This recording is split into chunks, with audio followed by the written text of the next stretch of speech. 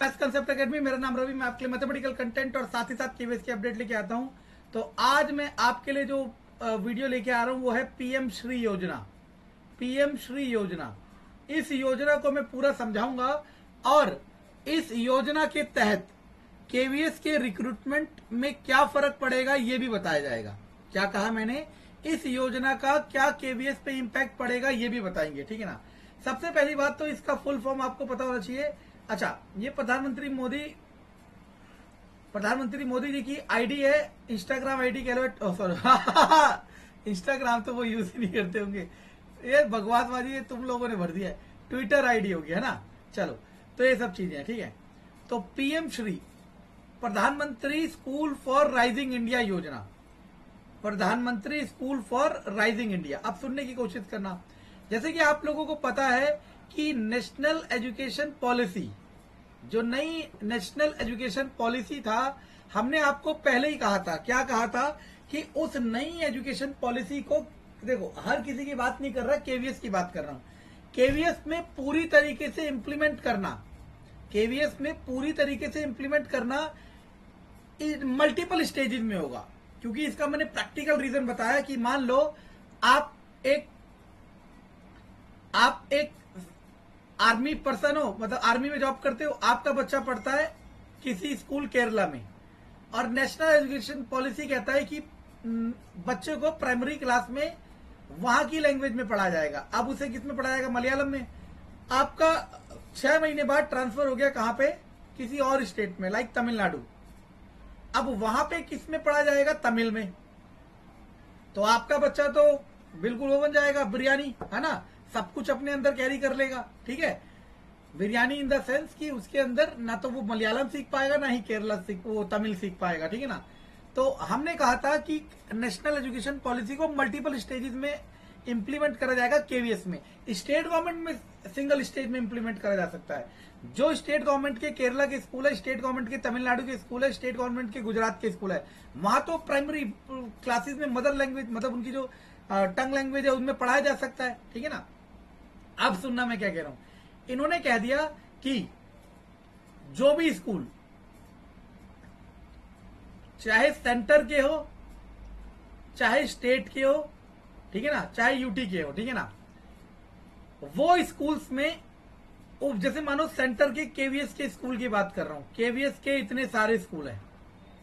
तो सारे के सारे स्कूल को पीएम श्री योजना के थ्रू नहीं लाया जाएगा। मानो किसी पर्टिकुलर स्टेट में इन दो स्कूलों को पीएम श्री योजना के अंतर्गत लाए। समझ आया मैं क्या कह रहा हूँ? किसी डिस्ट्रिक्ट में, किसी स्टेट में number of particular particular school को पीएम श्री योजना के थ्रू लाए। इन जो स्कूल है जिनमें पीएम श्री योजना के थ्रू लाए, इनमें एनईपी फुल स्प्रिट में फॉलो करा जाएगा। इनमें एनईपी फुल स्प्रिट में मतलब जो भी नेशनल एजुकेशन पॉलिसी के क्लॉजेज है, वो सारे के सारे, वो सारे के सारे इसमें इम्प्लीमेंट करे जाएँगे और ये बहुत ही अच्छी बात है। अब अगर आप लोगों को सही से जानकारी ना हो तो आपको ये कोई मिसकंडक्ट कर सकता है क्या? कि यार, पीएम श्री, जो पीएम श्री स्कूल है, आपको ये मिसकंडक्ट कर सकता है कि पीएम श्री स्कूल या तो नए खोले जाएँगे, या पुराने स्कूल को पीएम श्री कर दिया जाएगा। जैसे अगर जो दिल्ली का है तो मैं उसे बता देता हूँ, यहाँ पे एक होता है प्रतिभा विकास विद्यालय, राजकीय प्रतिभा विकास विद्यालय, ठीक है ना? राजकीय प्रतिभा विकास विद्यालय, ठीक है ना? तो कुछ गवर्नमेंट स्कूल्स, दिल्ली गवर्नमेंट के, जो एक्सीलेंसी शो करते हैं, उनको इसके अंदर कैटेगराइज कर दिया। इनके टीचर्स भी डी ट्रिपल एस भी बोर्ड ही सेलेक्ट करता है एग्ज़ाम के थ्रू ही सेलेक्ट होते हैं, ठीक है ना? तो ऐसा कुछ नहीं है। तो पीएम श्री योजना क्या है?